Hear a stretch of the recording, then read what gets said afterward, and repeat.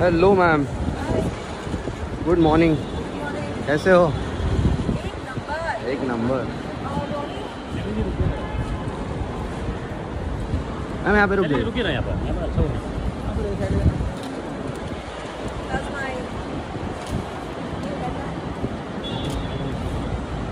क्या बात है?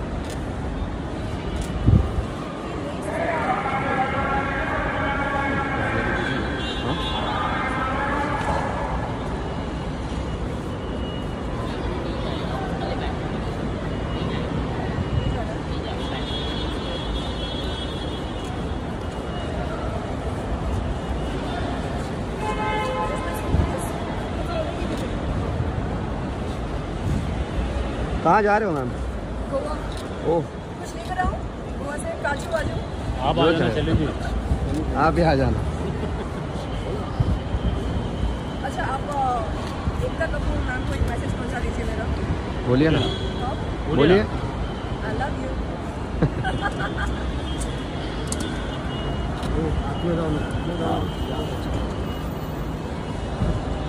bye ma'am bye इतनी जल्दी?